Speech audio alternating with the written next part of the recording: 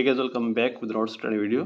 Guys in this video we will discuss that if you find this problem in your app store in iphone or ipad that when you purchase any app or any subscription you find this problem that there is an issue with your payment method.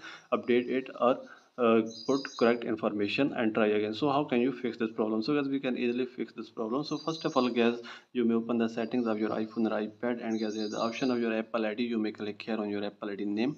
And guys there is the option of payment and shipping. You may click here and guys open your all payment method.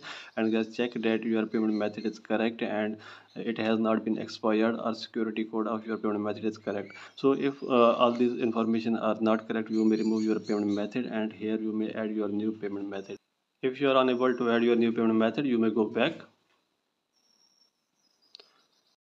So guys you may open any browser and in search bar you may write here support.apple.com so guys this interface will be open.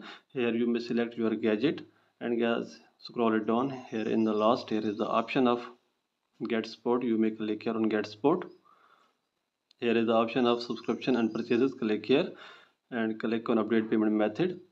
Then click on continue scroll it down. Here is the option of call us. You may click here and call apple support team. So tell them your problem to apple support team and they will fix your problem within a few minutes. So after this guys you may go back and open your settings again and open your Apple ID and here is the option of media and purchases. You may click here on click on view account.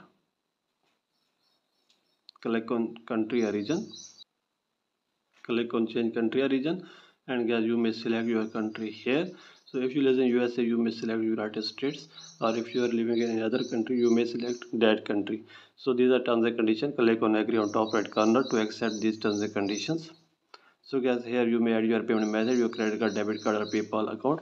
Then guys you may write your numbers of your credit debit card and expiry date and security code and guys write your first name last name and billing address then click on continue. On top right corner and guys your payment method will be added successfully and guys you can fix this problem by this method easily.